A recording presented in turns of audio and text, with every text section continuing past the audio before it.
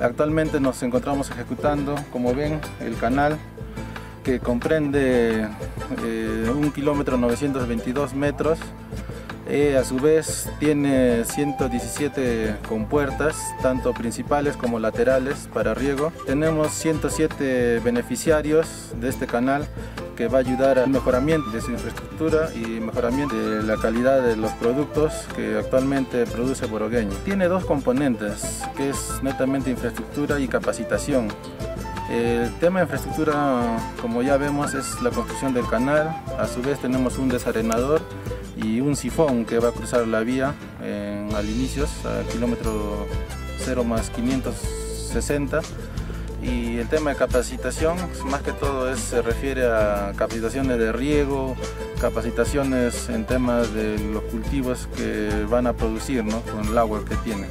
Actualmente acá el Centro Poblado de Borogueña comprende 18 hectáreas de cultivo netamente. Eh, también se tiene, como digo, 107 usuarios. El proyecto cuenta actualmente con un presupuesto de 2.443.000 soles que van a servir para culminar el proyecto en óptimas condiciones para el funcionamiento y entrega de la población.